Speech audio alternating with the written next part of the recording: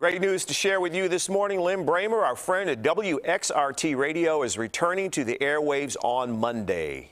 93XRT tweeted this news this morning announcing his comeback. The midday host has been off the air since July when he took a medical leave to fight prostate cancer. He is still undergoing chemotherapy, but Lin will be back behind the mic from 10 until 1 Monday through Friday. Great mm-hmm. news. Very much Talented so. and wonderful man. Back where he belongs.